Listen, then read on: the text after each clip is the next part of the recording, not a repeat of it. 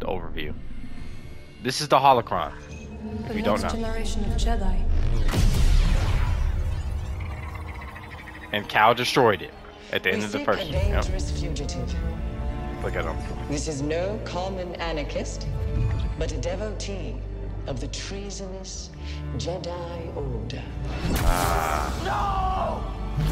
Look at this, a lightsaber. I was alone for a long time. I was scared that they'd find out who I was. I'm getting what I was. goosebumps. And you're not alone. I'm getting goosebumps. Hey, BD1. I'm Cal. Get your lasers off my lunch! I guess it's about time I find out who I am. Couple bumps ain't gonna kill you, kid. Merrin, right?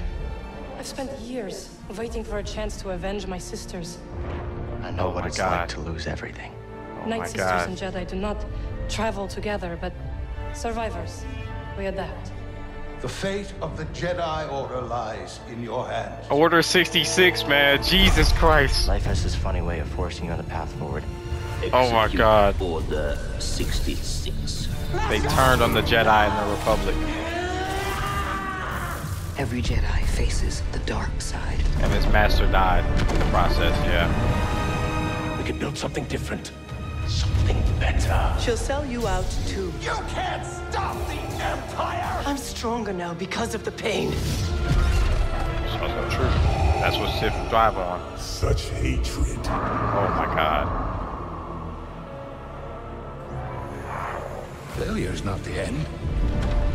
It is a necessary part of the path. Hope will always survive in those Oh my God. who continue to fight.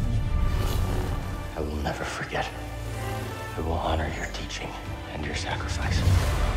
By the right of the Council, Cal Kestis.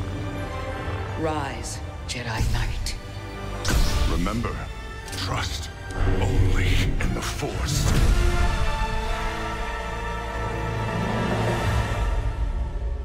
So where to now?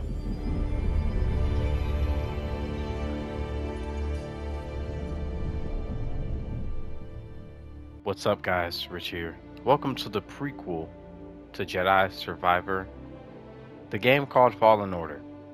I didn't do this game the best justice, if that makes any sense. Um, I didn't record it. I didn't, you know, kind of finish the series, and I I recorded it late. Maybe it was more for content. Maybe it was more for views. I'm a huge Star Wars fan, and I already kind of played the game or knew what happened in the most important parts of the first game basically the quick rundown is is that people if you don't know there's two sides to everything and then there's people in between. You have good and evil jedi sith the republic the empire. The empire is related to the sith which is the bad side in our eyes at least and the jedi is related to the republic. What ended up happening is there was an order called execute order 66 is what the exact phrase is. What Order 66 did is allow the Empire to secretly corrupt the Republic and basically from the inside and infiltrate them and kill off probably 95% of the Jedi. Um, again, don't ask me how stormtroopers are beating Jedi's. That part is always going to be something to me. I don't don't ask me. But what I will say is is that Cal is a fictional character. This whole let's let's imagine Star Wars was real life. Cal is a fictional character placed in this, I guess you can say, scene in this moment, and he's one of the Jedi who hid and like kind of survived for years and years to come. Um, think of him kind of like a, if actually the irony of it is, it's kind of like what Obi Wan Kenobi should have been doing, but I'm not going to spoil that for you. Go watch it on Disney Plus. Cal is a survivor. He was never fully trained to the degree. He was kind of a Padawan. A Padawan is a Jedi in training. I think the order is Padawan, Jedi, Jedi Knight. Um, and then you can you can take different paths from there, obviously, before you get to Jedi Master, whatever the case may be. But the point is, is that Cal was never fully trained, and in the Execute Order 66, in that whole process, his master was actually killed and slain. So Cal actually never really had continuous training. He also was, like I said, his master died. He had to hide away. until one day he didn't. And uh I guess I'll show you that scene. Find us free like this?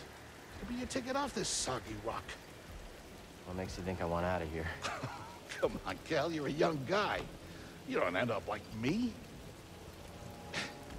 Eventually, you gotta move on and live your life. Find your destiny.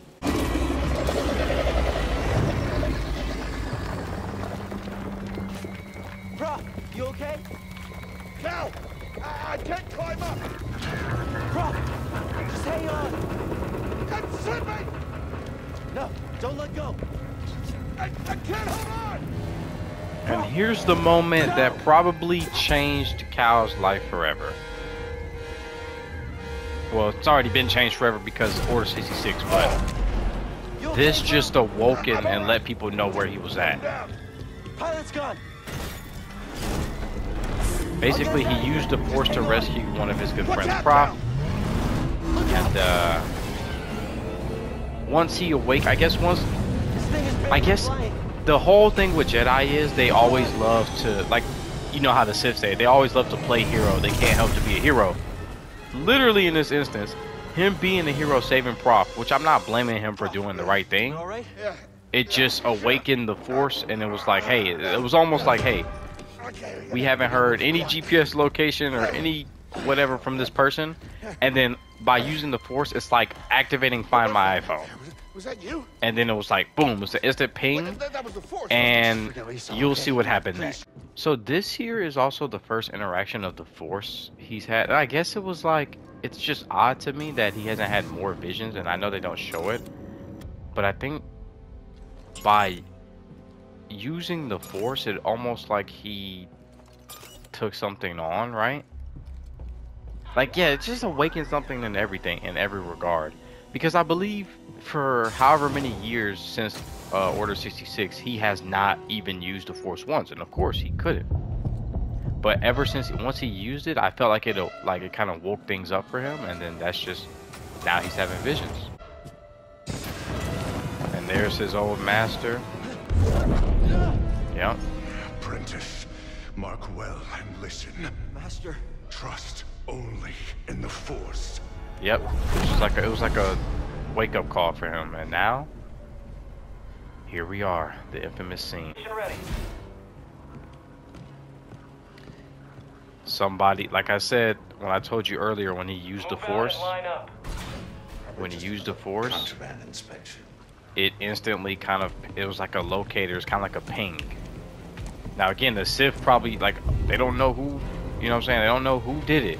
They don't they don't know who exactly was the cause of it, but they know that it's kind of like a ping, like an echolocation thing, where it was like, hey, someone in this general vicinity just used the Force, and now they started taking it serious, and here they come, Inquisitor. God, that outfit is so cool.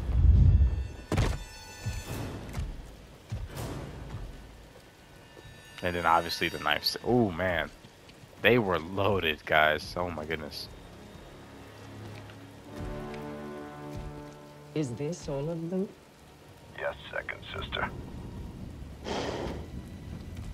We seek a dangerous fugitive.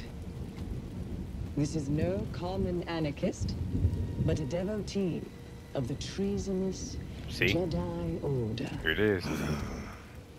Failure to turn over this traitor will result in a charge of sedition.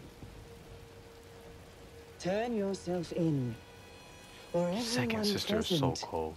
shall face summary execution. And they just aimed it at everybody. It's time someone came forward.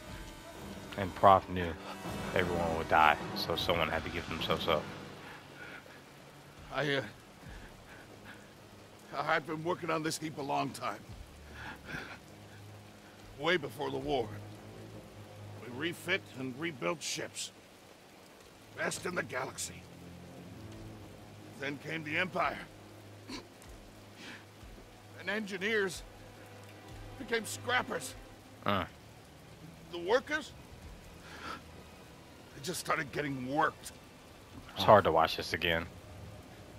The fact know he the has it ready and on him, like it's just We're just too afraid to say it. To the Empire, we're all just expendable. Yes. You don't do it. Oh No! yeah, and this yeah, and from this moment on, A lightsaber. yeah, he's a Padawan at this point, guys. So I don't be too hard on him. Yeah. Like I said, I've said this multiple times, but from this moment on, this is a mo- an- another moment that just deeply changed his life. So basically, from that moment on, he had no choice but to actually fight his way out. He kind of eliminated his only option, the ability to hide. You know, he you know gave up his face. Now everyone knows who the Jedi is. And from there, he really became a Jedi in the field. And so, you know, he had this great adventure. And like I obviously we've seen already, I've already recorded through the first episode, but the person that he kind of met really early on in his adventure, her name was Cere, and she was a Force user when she was a child who turned Inquisitor, not by her choice, and then after she kind of gave up on the force. Meaning like she didn't she felt like she was kind of a slave to being an inquisitor and being captured and things of that nature and that's what ended up happening.